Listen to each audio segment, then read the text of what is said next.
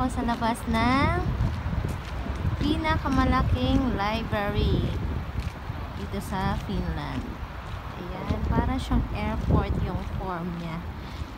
Naka, ano na ba kayo ng airport ng Doha, Qatar? Parang pare-pareha yung yung ano ng ano nila library. Yung structure ng building. Ayan. Tapos doon sa taas, punta tayo doon. Check natin kung anong nandun.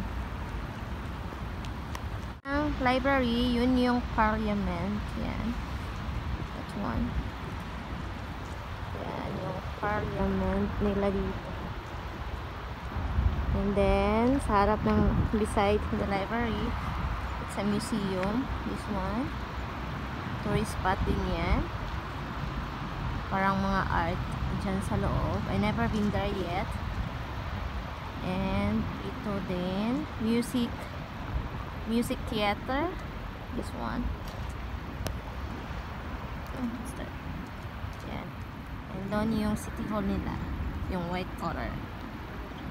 Ayan. No, punta tayo doon sa loob. And then, kasi meron ako yung, meron akong ipapotocopy na rin na isa lang page ng ano ng papel, ng document. Then, mag-tour tayo sandali sa loob. And free naman siya sa loob. So, let's get inside. A few moments later. So, maulan siya mga chops. Ayan. And, pauwi na ako. Galing na ako doon sa library. Ayan. I want to take video inside but I'm afraid that it's forbidden to take video inside. So, may nabuti ko na lang wag video doon. Ayan. Dito, maraming tao pag summer. Soon, it's summer and it's it's so nice here. I'm gonna take video here next time.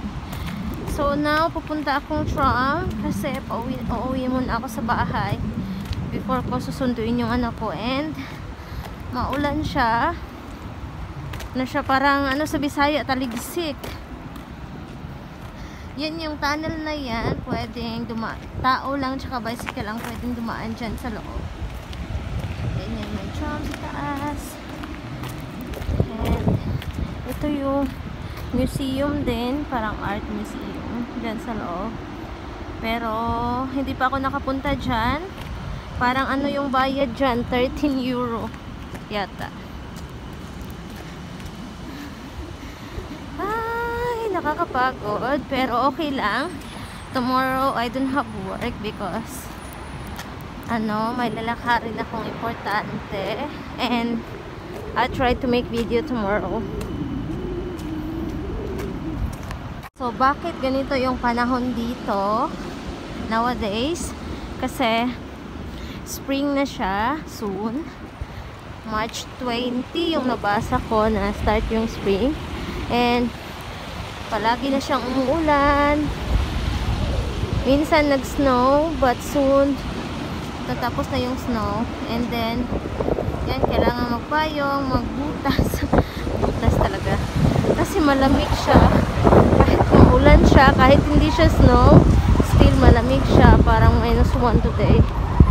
And, yun. Spring and then summer.